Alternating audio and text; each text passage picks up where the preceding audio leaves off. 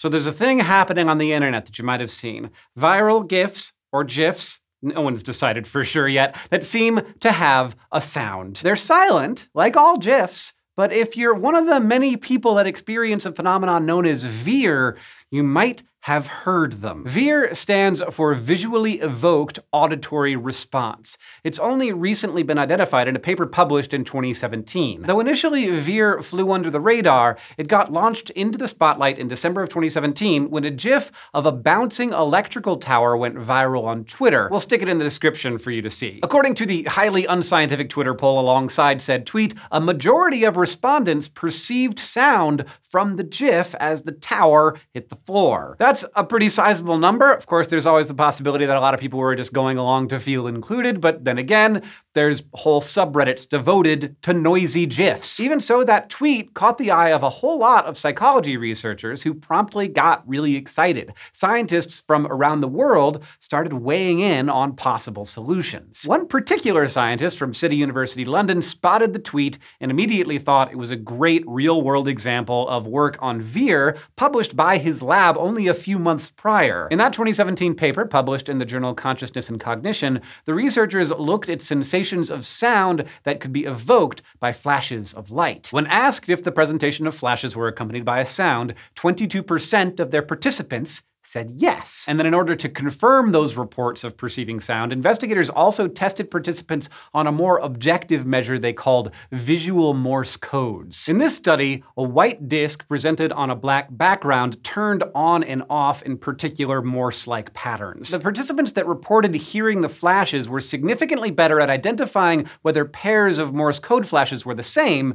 than those who were unable to hear flashes. Those that heard the stimuli seemed to be turning the visuals into auditory information, which stores timing way better than visual information does. Kind of like an audio cheat sheet that other participants just didn't have access to. Harnessing the power of the Twitter storm, these researchers started talking to news outlets about their theory. And at the end of articles interviewing them, many outlets provided a link to the researchers' new study investigating the phenomenon. All in all, they got over 4,000 responses from around the world about just how people experience the supposed sounds these GIFs were making. The data showed that videos depicting situations with a lot of movement energy or predicted loud sounds, like a car crash, were most likely to trigger vEAR. And though they didn't have tests good enough to measure it directly, the researchers suggested that vEAR may be a kind of synesthesia. Synesthesia is a crossing over of senses. When one sensory modality, like hearing, is stimulated, those with synesthesia might perceive something in a different, unstimulated sensory modality. They might associate certain types of music automatically and reliably with certain colors or patterns, for example. There are a lot of different types of synesthesia, everything from sensing particular personalities from numbers to perceiving different kinds of erotic stimulation with specific colors. We don't have a single unifying theory of what happens in the brain to cause synesthesia yet,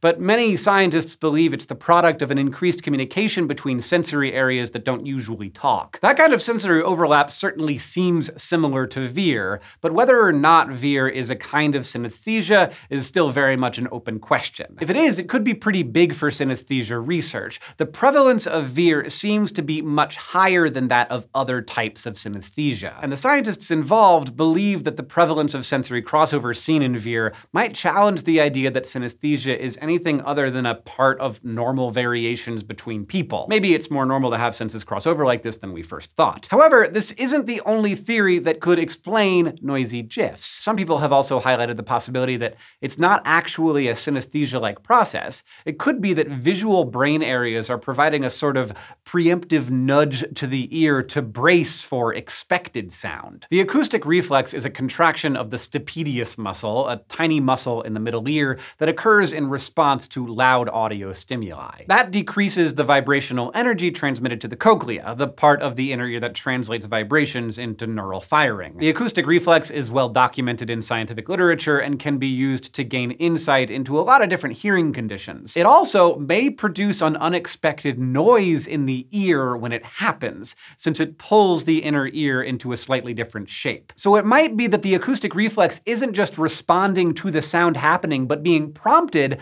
by the visuals predictive of a loud noise. That would explain why research has found that videos showing situations predictive of loud noises trigger vEAR. The brain might be preempting a sizable sound and is letting the ear know, like, hey, it's about to get real loud nearby. While we haven't nailed down the exact mechanisms behind vEAR or why some people have it while others don't, research is still ongoing to find out. What is clear, though, is that we've only scratched the surface when it comes to decoding the complex ways our senses interact. That and sometimes tweeting about weird stuff results in actually advancing science. Thanks for watching this episode of SciShow Psych, and thank you to Kimberly for asking. Our patrons on Patreon get to vote and decide what burning scientific questions we address. So, if you want a chance at getting your question answered, check out patreon.com slash scishow.